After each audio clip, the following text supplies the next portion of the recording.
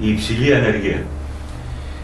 Κοιτάξτε, σε ό,τι αφορά την ανεργία, εμείς είχαμε κάνει μια πρόβλεψη το 2010 που την είχαμε δώσει στην Τρόικα ότι αν εφαρμόσετε αυτό το πρόγραμμα που μας λέτε το 2010 το Μάιο, το 2013 η ανεργία θα κινηθεί ανάμεσα στο 28 και στο 29%. Μας έλεγαν τότε ότι όλα αυτά είναι λάθος. Αυτοί λέγανε ότι θα κινηθεί στο 17% η ανεργία. Και εμείς σου λέγαμε ότι τα δικά σας στοιχεία είναι λάθος. Εμείς βέβαια επειδή είχαμε και σε μια εποχή στην Ελλάδα που αναπτύσσονται πάντα τη κρίση, αναπτύσσονται κάποιοι μύθοι κτλ.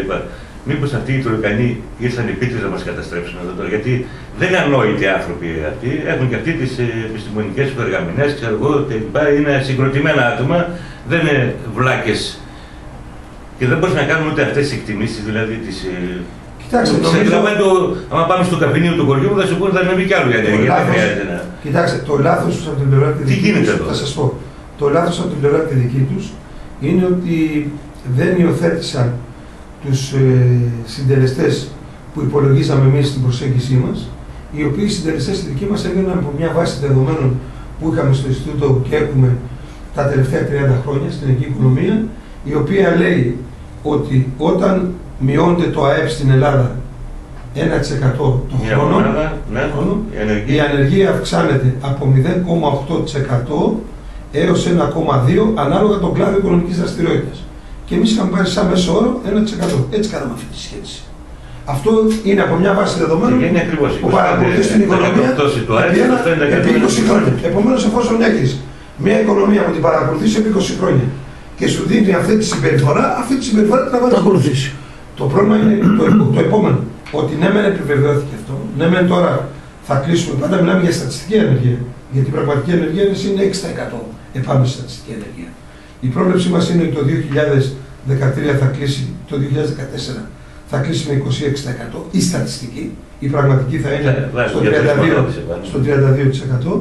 Η πρόβλεψή μας επίσης είναι ότι το 2026 η ανεργία δεν μπορεί να είναι κάτω από το 17% και αν θέλουμε να μείνουμε το 2020 η ανεργία το 2020 δεν θα είναι κάτω από 21%.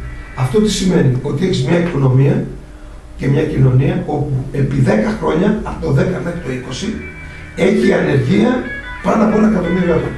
Είναι μεγάλο. Και επομένως αντιλαμβάνεστε ότι εδώ δημιουργείται ένα σοβαρό οικονομικό πρόβλημα και ένα σοβαρό ε, κοινωνικό πρόβλημα από άποψη ε, κοινωνικών διαστάσεων.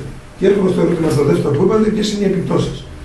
Οι επιπτώσεις νομίζω ότι είναι εμφανείς και οι οικονομικές και οι κοινωνικές, αλλά είχα έτσι μια, τη δυνατότητα μιας εισρωής συμμετέχοντας σε ένα συνέδριο, παγκόσμιο συνέδριο της ψυχιατρική εταιρείας που έγινε στην Αθήνα και υπήρχαν εκεί συνάδελφοι ψυχίατροι από διάφορα πανεπιστήμια όπου είχαν κάνει διάφορες μελέτες στις χώρες τους που είχαν βάλει διάφορους συντελεστές που επηρεάζουν την ψυχική ισορροπία ή μη ισορροπία του κάθε ανθρώπου ή του κάθε ενέργου και τελικά προέκυπτε από εκεί ότι το 90% περίπου ένας που επηρεάζει την μεγάλη ε, κατάθλιψη, δηλαδή κατάθλιψη με θεραπεία φαρμάκων και όχι μόνο απλά κατάθλιψη. Ακριβώς, ήταν το θέμα της ανεργίας και της ανυπαρξίας εισοδήματος. Αυτό συνέβαινε και στην Ελλάδα και από τον Βούλγαρο συνάδελφο ψυχίατρο που άκουσα και τον Φιλανδό και τον Γερμανό κλπ. Που σημαίνει δηλαδή ότι δεν είναι μόνο οι οικονομικές ή κοινωνικές συνέπειες, είναι και οι ψυχολογικές συνέπειες του, του ατόμου και κατά συνέπεια και της συλλογικότητας μιας κοινωνίας που επηρεάζεται από αυτό το φαινόμενο. Το 90%, το για την κατάθλιψη έρχεται από την ανεργία. Ε, την ανεργία και το ε, έλλειψη εισοδημάτων. Έλλειψη εισοδήματο από αυτό. Επομένως, εάν είναι έτσι που είναι έτσι, έτσι τότε, νομίζω, η κάθε, τότε νομίζω ότι κάθε οικονομική και κοινωνική πολιτική πρέπει να το λαμβάνει αυτό υπόψη. Δηλαδή, το κατά προτεραιότητα θέμα φαντάζομαι στην Ευρώπη και, στις, και στα κράτη-μέλη, θα πρέπει να είναι εδώ και χθες η καταπολέμηση αυτού του φαινομένου της ανεργίας. Όχι μόνο για οικονομικούς και κοινωνικούς λόγους, αλλά και για την ισορροπία των ανθρώπων και της κοινωνίας. Και για ουσιαστικούς λόγους. Ναι. Ακριβώς. Και πώς μπορεί ένας λαός με καταθλιπτικούς το 25-30% να αποκτήσει ξέρω εγώ, τη συλλογικότητα που απαιτείται για να κάνουμε έξοδο και οικονομική ανάπτυξη πω κάτι μόνο για το θέμα το ασφαλιστικό. Να δω δηλαδή το θέμα να πω ότι πόσο είναι στοχευμένη, ενώ έχει δίκιο ο Σάβα που λέει ας πούμε, ότι αυτοί είχαν κάνει και λάθος υπολογισμούς με την έννοια των στόχων που είχαν βάλει ήδη. Δεν επιτυχάνουν ούτε οι δικοί τους στόχοι. Απλά δέστε ότι υπάρχει ένας συγκεκριμένο. Μα και όταν, ε, Νίκος, συγγνώμη, και όταν αναγνωρίστηκε ότι έγινε λάθος του πολλαπλασιαστή, ο υπολογισμός του πολλαπλασιαστή, αυτό που είπατε προηγουμένως, δεν άλλαξε τίποτα. Κανονικά συνέχισαν παραπέρα. Μα αυτό ακριβώς θέλω να θεματολογήσω παραπέρα. Δέστε ότι στο οφειλέ σήμερα στον ε, Οργανισμό Ασφάλισης των Ελεύθερων Επαγγελματιών, δηλαδή των επιχειρηματιών, ήταν κάτω από ένα δις οι οφειλέ που είχαν τότε οι επιχειρηματίες το 2009. Τώρα έχουν πάει στα 8,5 δις. Δεν, δεν συζητάνε γιατί συμβαίνει αυτό και πώς μπορούν να αντιμετωπίσουν το φαινόμενο της έκρηξη των μη ε, πληρούμενων οφειλών, αλλά πάνε σε αυτό που έλεγε ο κ. Δροπόλη προηγουμένως, ότι πάνε να το λύσουν με θέμα μείωση των συντάξεων και αύξηση των ορίων ηλικίας. Γιατί το κάνουν αυτό, ε, αυτό δεν δίνει ανάσταση στο σύστημα. Τώρα ο Σάβα ε, δεν προλάβει, δεν προλάβει να τα πει όλα. Ουσιαστικά αυτό που κάνανε με την αύξηση των ορίων ηλικίας και τη μείωση των συντάξεων μετατοπίζει το πρόβλημα ας πούμε, σε ένα-δύο χρόνια. Τίποτα άλλο δεν κάνει. Το κάνουν ακριβώς γιατί θέλουν να τροφοδοτήσουν και για το θέμα της ασφάλισης και των συντάξεων και των παροχών υγείας. Θα τις εξοδώσουν, θα τις περιορίσουν πολύ χαμηλά για να δώσουν οντότητες στι ιδιωτικές εταιρείες ασφάλισης. Αυτό πάνε να κάνουν. Και ο κόσμος φυσικά πιθανόν αυτά να μην τα αντιλαμβάνει και να έρθει και ο ίδιος πολλές φορές να λέει: Παιδί μου, γιατί εγώ να πληρώνω στον ΟΑΕ τώρα 400 ευρώ το μήνα για να πάρω μια σύνταξη 360 ευρώ. Ε, να πάει στο διάλογο, δεν τη θέλω καθόλου, να πάω να πάω σε ιδιωτική ασφάλιση. Μα ακριβώς αυτό θέλουν και το λέω αυτό για να τα ακούσουν και οι ακροατές σας, διότι σε αυτή την παγίδα δεν πρέπει να πέσουμε.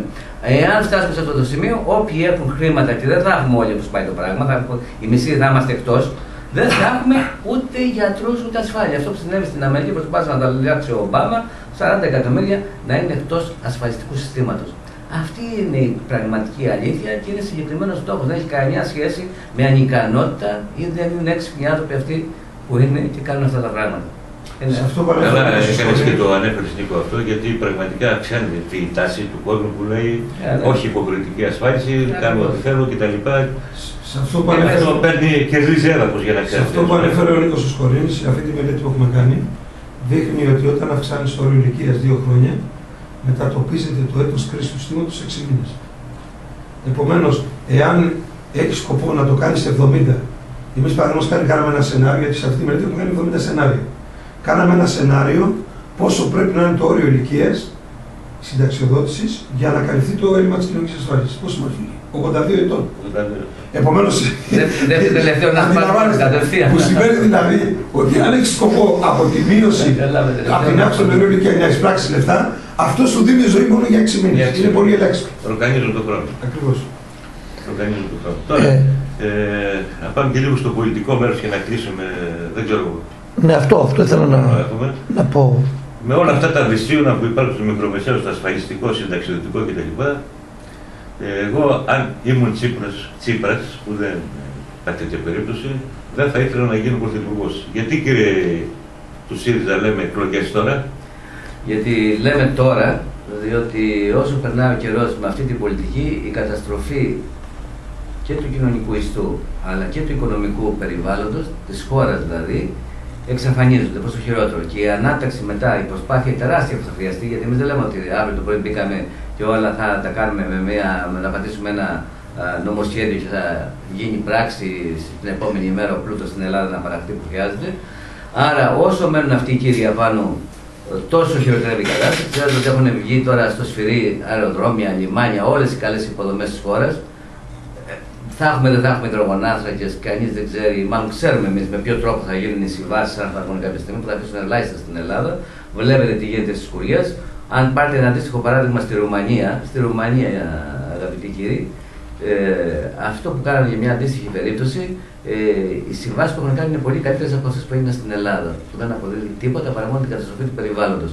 Άρα, γι' αυτό λέμε τώρα, ξέρουμε τις δυσκολίες, η αριστερά μας έχει μάθει και να λύνει μάχες και να παλεύει. Το έκανε και στην ε, πόλεμο του 40, πρωτοστάτησε ε, σε όλες τις μεγάλες στιγμές της ελληνικής κοινωνίας, χωρίς να σκέφτεται τη δική της στενή πράγματι ας πούμε ωφελημότητα. Δηλαδή, αν το, όπως το λέει ακριβώς ο Στέλιος, θα λέγαμε άσου ρε παιδί μου να σε αφήσουν δύο-τρία χρόνια να δούμε τι θα γίνει, μην το παλεύεις τώρα, γιατί αύριο θα σηκώσεις όλη την πυρηνική βόμβα που έχεις να πάρεις στα χέρια του. Και το ασφαλιστικό και το θέμα της ανεργίας και όλα αυτά που συζητάμε και ξέρει η ελληνική κοινωνία, πράγματι είναι κυριολεκτικά πυρηνική σχάση στα χέρια του ΣΥΡΙΖΑ.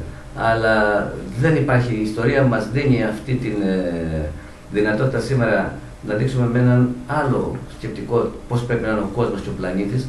Ξέρετε, αυτό που φοβόνται περισσότερο οι μερκελιστές, θα το πω πολύ απλά, είναι ακριβώς αυτό. Τη Μην ρογμή. έρθει, μην έρθει ο ΣΥΡΙΖΑ και κάνει ρογμή σε αυτό το σύστημα της ε, λαιλασίας που κάνει ο νεοφιλελευθερισμός με αυτόν τον τρόπο και γίνει πολιτικό ντόμινο σε όλη την Ευρώπη. Βλέπετε ότι και στην Ισπανία Αυτά αυτές όμως- τι μέρες το κίνημα των Ναι, ναι, αναγνωρισμένων είναι πρώτος. βγαίνει πρώτος στη δημοσκοπήση 27% που είναι ακόμα 5, 15 μηνών.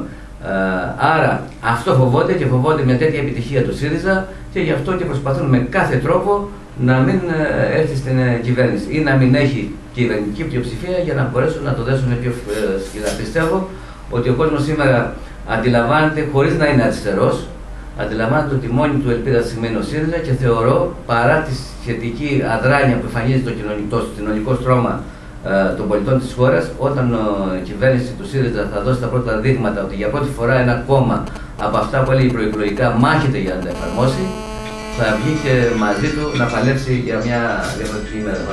Κύριε Αεροπόλη, Να. μου διέφυγε, συγγνώμη, Εγώ θα σας έλεγα- θα το- θα σου δώσω θα- χρόνο. Δεν με άφησε να μιλήσω καθόλου.